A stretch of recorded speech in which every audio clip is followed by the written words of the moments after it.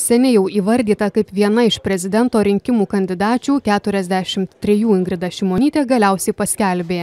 Dalyvaus konservatorių pirminiuose rinkimuose ir jei juos laimės, sieks prezidento posto.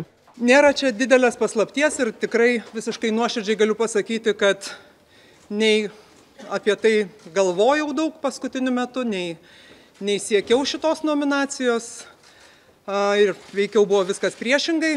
Tai, tai buvo tikrai visiškai nuoširdu ir ne, kažkoks, ne kažkokia strategija, kaip galbūt kažkam galėtų atrodyti.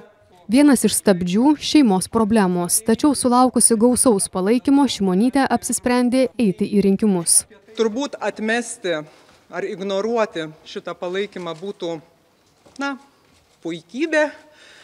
Tai manau, kad tiesiog tie žmonės matyt su manimi sieja kažkokius galbūt kitokios politikos, galbūt atviresnės, galbūt nuoširdesnės, galbūt pagarbesnės. Šimonytė save pristato trumpai. Yra žmogus, kuriam rūpi turinys, o ne forma. Todėl ir paskelbti apie savo kandidatavimą pasirinko įprastą aplinką - Seimą tapusi prezidente mato du pagrindinius iššūkius. Pirmas turbūt yra susijęs su konstitucija ir tuo, kad ką mes dabar stebime ir kas mane asmeniškai neramina, tai yra, kad na, matome pastangas konstitucijos vertybės paminti, ar tarkim per kažkokius ciniškus galio žaidimus, ar per bandymai įsivaizduoti, kad demokratija tai yra tada, kada dauguma diktuoja, iš esmės daugumos diktatūrą mažumai, su kuo aš negaliu sutikti ir manau, kad e, reikia siekti, kad tos tendencijos ar tie, tie reiškiniai, kuriuos dabar stebime, kad jie neįsitvirtintų. Kitas iššūkis - bėdos šalies švietimo ir sveikatos rytise. Labai gerai. Moterys visuomet gerai, jos moka tvarkytis namuose, manau, kad ir valstybė gali tvarkyti. Tai gerai, tegul, jauna moteriškė, tai ką čia?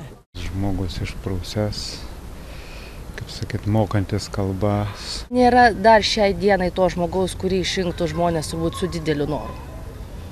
Kartais labai liūdna, bet renkame iš to, kas yra. Prieš pat šį Ingrido Šimonytės paskelbimą iš kovos dėl konservatorių paramos pasitraukė Gitanas Nausėda. Jis pareiškė, prezidento rinkimuose dalyvaus kaip nepriklausomas kandidatas. O štai konservatorius Vygaudas Ušackas iš kovos nutarė nesitraukti. Noriu pasakyti, kad Kaip ir sakiau, aš dalyvausiu e, Tevinės sąjungos Lietuvos krikščionių demokratų partijos organizuojamuose pirminiuose rinkimuose. Partijos taisyklės uh, reglamentuoja šią na, tokią galimybę griežtai ir pralaimėjęs partijos pirminius rinkimus kandidatas turėtų išreikšti paramą, na, bent jau ne kokią neutralią paramą laimėjusiam kandidatui, nedalyvauti toliau savarankiškai. Mm, aišku, konstitucinė teisė asmenių bet kokiu atveju yra aukščiau asmo turi galimybę dalyvauti, bet tuo atveju na, jo ryšiai ir galimybės toliau bendradarbiauti su Tevinė sąjunga na, praktiškai nutrūksta. Politologas sako, visi trys kandidatai Nausėda, Šimonytė, Ušackas dešinės pakraipos, tad konservatorių rinkėjams pasisekė, turės iš ko rinktis.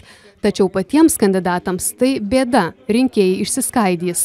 Galėtume taip sakyti, kad išloš e, kairiųjų kandidatas, jeigu toks bus, Bet šiaip e, paskutinės apklausos rodo, kad greičiausiai, kadangi kairioji, kairysis politikos flangas Lietuvos dabar irgi išgyvena ne pačius geriausius laikus po socialdemokratų partijos kilimo, greičiausiai kairį rinkėją gali e, pirmiausiai privilioti valstiečių žalių iškeltas kandidatas ir greičiausiai tai bus premjeras Saulis Karnelis. Pagal visuomenės apklausas vienas populiariausių galimų kandidatų Saulis Skvernelis savo sprendimo kol kas nepaskelbė.